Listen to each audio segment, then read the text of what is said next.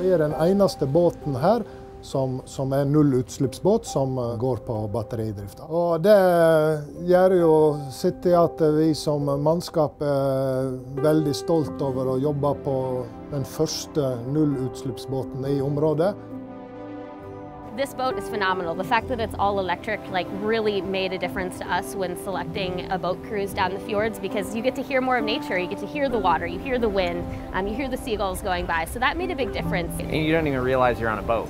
Yeah. Like it just seems like you're just floating along the water because you don't hear it. It's extremely quiet. We were commenting about that. My daughter was saying, "So quiet, Dad." You know, I come from California, right? So we have national parks, Yosemite and Sequoia, and I said, "This is the closest thing in all our travels that I've seen like Yosemite." Is and, and this you're cruising in a boat. It's spectacular. you know. Så vi eh, er i front og leder utviklingen. Så det gjør stolt over det vi driver på med. Og vi er i front når det gjelder det grønne skiftet.